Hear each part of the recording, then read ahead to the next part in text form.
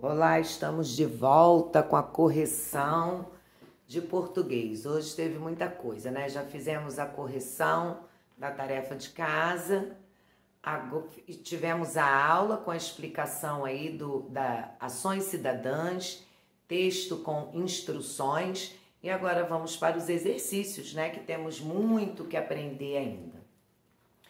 Lá na página 65 ainda tem a seguinte pergunta. Esse cartaz se parece com que tipo de jogo? E depois tem uma outra pergunta. O que os números indicam?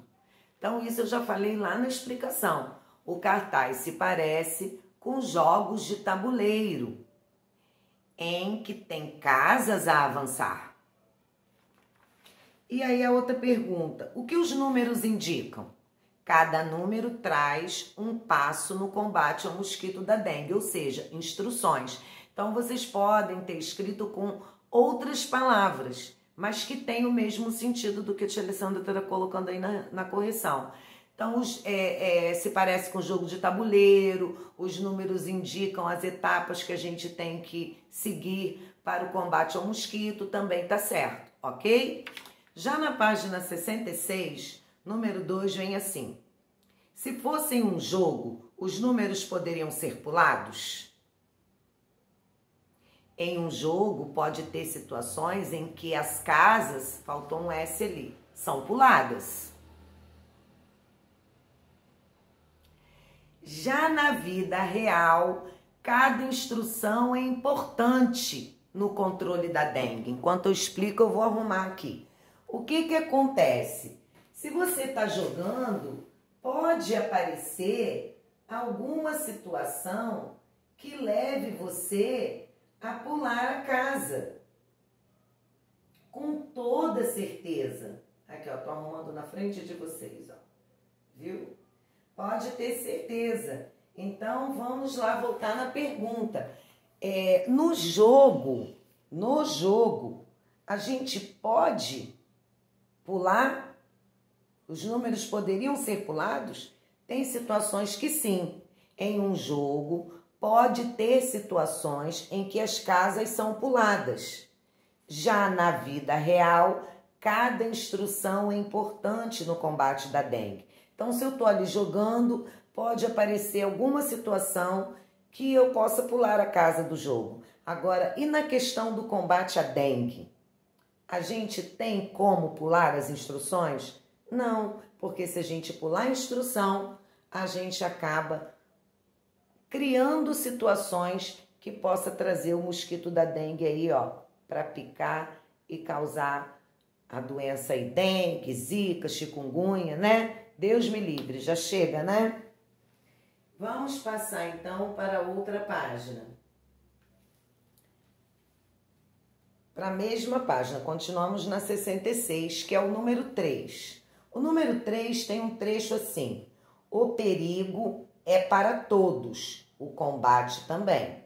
Faça a sua parte. Se é perigoso para todo mundo, todo mundo também, cada um tem que fazer a sua parte. Quantas vezes a gente vê ali que o vizinho não fez a parte dele? A gente vai lá, limpa todo o nosso quintal, tira a água parada, faz tudo o que tem que fazer, mas ali no quintal da frente ou no quintal do vizinho não estão fazendo. Então, o mosquitinho que se criar lá pode picar a gente ali na nossa casa. Então, a nossa parte também é com educação orientar as pessoas. Número 3, letra A.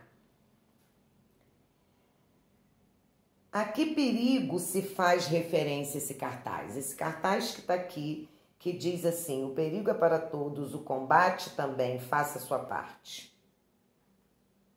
A que perigo ele está falando? Ao mosquito da dengue. Então vamos lá. Quem acertou bingo já pode marcar com a canetinha lá o certo.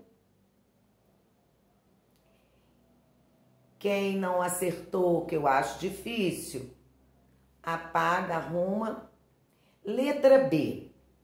O que significa combate no contexto do cartaz? Quer dizer, quando o cartaz fala o combate também, o que, que ele está dizendo? Que é para praticar ações, combate significa praticar ações, nesse caso, praticar ações para que o mosquito da dengue não nasça. cuidar do quintal, não deixar água parada, colocar areia nos vasos de planta e por aí vai. Também repito, começo de frase com letra maiúscula e vocês podem não ter colocado com essas palavrinhas. Tem gente que pode ter colocado primeiro cuidar do quintal, não deixar água parada, também tá certo, tá? Aí o responsável que tá fazendo o dever com vocês vai olhar e vai ver se tá certinho mesmo estando com outras palavras. Letra C. O que significa fazer a sua parte? Significa que todos devem seguir os passos indicados no cartaz. Se você orienta, mas você não faz a sua parte, também não adianta. E a letra D, pensando nisso, qual é o objetivo dessa campanha? Qual é o objetivo? O que, que essa campanha pretende? O que, que a campanha quer? A campanha está instruindo as pessoas a tomar atitudes para evitar o avanço do mosquito da dengue. Vou repetir: tem gente que pode ter colocado assim: a campanha traz instruções para prevenir contra o mosquito. Também está certo. A campanha previne contra o mosquito da dengue, ensina como se prevenir. Também está certo. Mas é um texto de instruções. Ação cidadã. Até aí, tudo bem?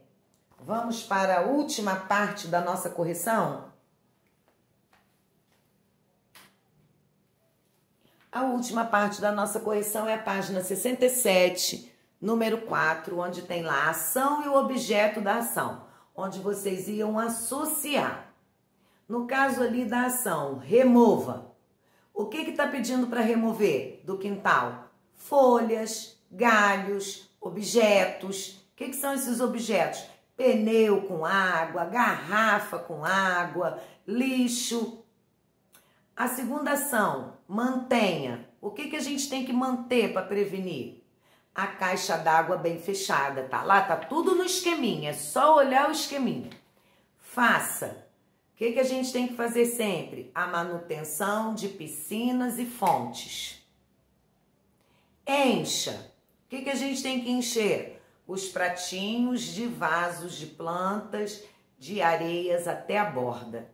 E aí vai jogando água ali, areinha, a areinha vai chupar água, a planta não vai ficar com sede, mas também não vai ficar lá uma água parada para o mosquito. Penúltima ação, coloque. O que, que a gente tem que colocar? O lixo em sacos.